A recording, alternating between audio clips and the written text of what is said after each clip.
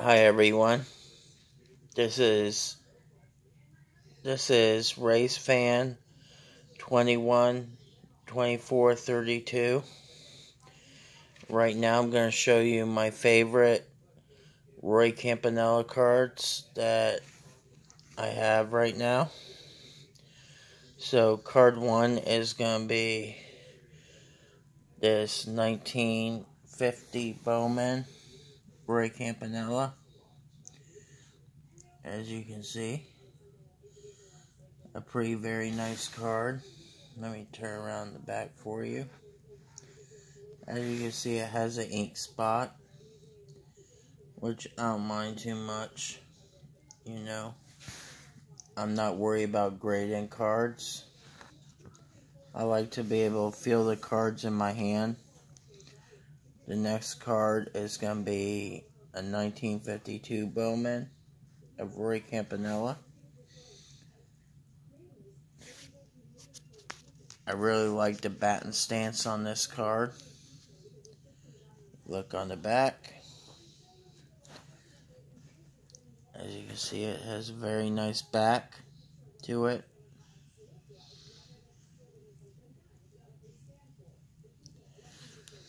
Okay, so, and here's the 1953 Topps Roy Campanella.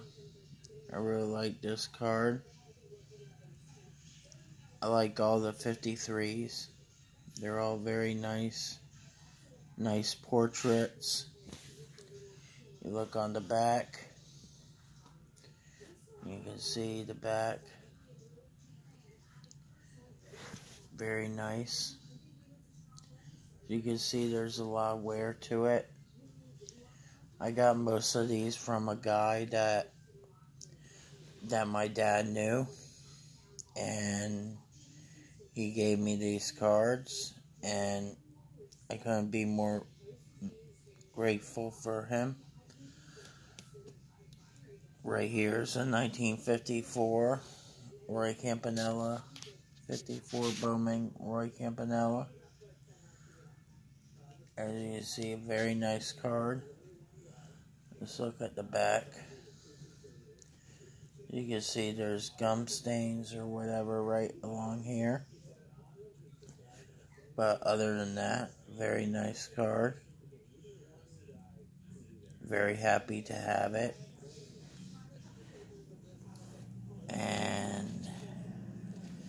My last card for Roy. Well, not my last card, but you got the 55 Bowman, which I think is a very beautiful card. You look at it, it's very beautiful. With the border, with those borders. I don't see too much wrong with this card. Look on the back. Yeah, there's a little grease stain right there. But other than that, it's a very nice card. And then we get to the last the last card, which is a Topps, 56 Topps, which is a very nice card.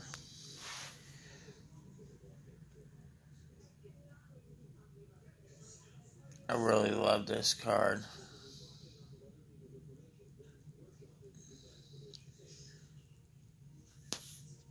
And if you look at the back, that looks really nice.